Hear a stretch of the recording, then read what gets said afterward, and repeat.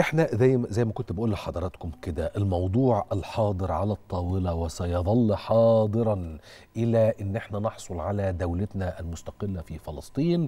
هو إزاي نقدر نوصل لسلام وحل. معانا داخل الاستوديو منورنا دكتور طارق فهمي أستاذ العلوم السياسية ومحللنا السياسي الكبير. منورنا يا دكتور. نورك كده. سيادة النائب إيه؟ كله ربنا تمام؟ يخليك سيادة النائب.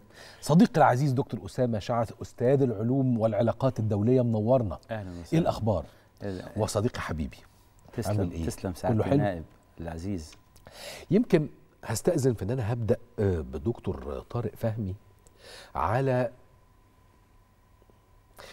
أنا كنت من فترة بفكر بصوت عالي دايما في سيناريوهات ماذا بعد يعني the day after tomorrow إلا إنه هذه الحكومة المتوحشة المتطرفة المتشددة لهذا الاحتلال مش مديالي فرصة إن أنا أفكر في سيناريوهات لإزاي نقدر نوصل لحل الدولتين. فأصبحت أفكر دلوقتي إيه هي السيناريوهات اللي تمكنني من إقرار وقف إطلاق نار. يعني شوف هو طبعا سؤال حضرتك شائك جدا لأنه إحنا ممكن نرسم السيناريوهات الواقعية وليست اللي, اللي فيها صحيح. بناء هندسي. يعني أنت بتسمع سيناريوهات نظرية كتيرة عملناها في مصر من سنوات طويلة يمكن الدكتور أسامة شارك معانا كتير في الحاجات دي طوال سنوات ماضية. في مراحل كنا بنرسم في إطار هندسي إن إحنا السيناريو بالإطار الزمني بما يعني يحمله كل سيناريو من مزايا. الهدف في النهاية هو إقامة دولة فلسطينية عاصمتها القدس.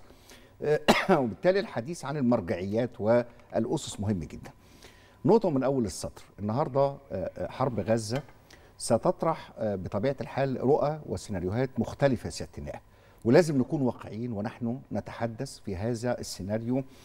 مش السيناريو الوردي إنما السيناريوهات الأخرى المتعلقة الواقع. بالواقع. نحن أمام حكومة إسرائيلية جاءت هذه الحكومة قبل الحرب طبعا بتشكيل مكوناتها. لحسم الصراع وليس إدارته. يعني حسم الصراع بمعنى إيه؟ إنه لا إدارة للصراع وإنما حسم الصراع. الجزء اللي هو حاصل في الضفة الغربية والإجراءات في مدينة القدس والاستمرار والإمعان في المخطط الشيطاني هدفه هو حسم الصراع وليس إدارة الصراع. أنا مش عايز أكون صادم بس أنا بنطلق من نقطة مهمة جدا للوصول اللي أنا هقوله. وبالتالي هذه الحكومة أنا مع حضرتك يمينية ومتطرفة وكل الإجراءات والوصف اللي إحنا بنقوله لكن نحن مترقبين جيدا ومراقبين عن قرب وعن بعد لما تقوم به هذه الحكومة سياده النائب.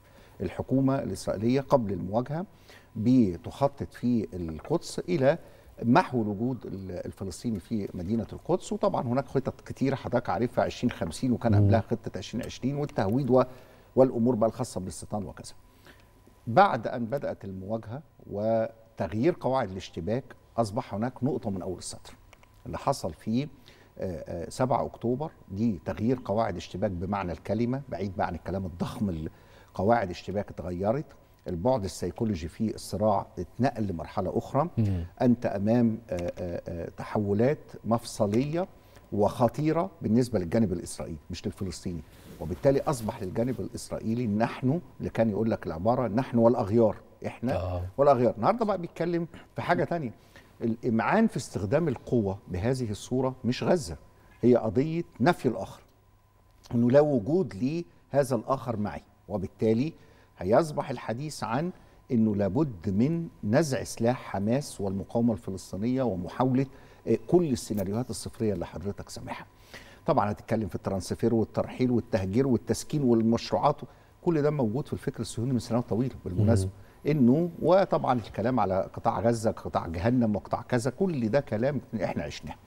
لكن في مراحل معينة كانت مطروحة